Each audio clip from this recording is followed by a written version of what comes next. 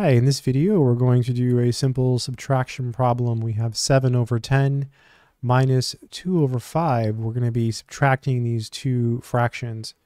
So in order to subtract fractions, the number on the bottom, which is called the denominator, uh, needs to be the same in both fractions. So here it's a 10, and over here in this one it's a 5. So we can make them both 10s by multiplying the 5 by 2. But you can't just do that but what you can do is you can multiply something by 1. So what you do is you multiply by 2 over 2, which is basically 1. So you're not changing anything. And then you can distribute and, and actually multiply through. So this is 7 over 10 minus, and then 2 times 2 is 4. That goes in the numerator.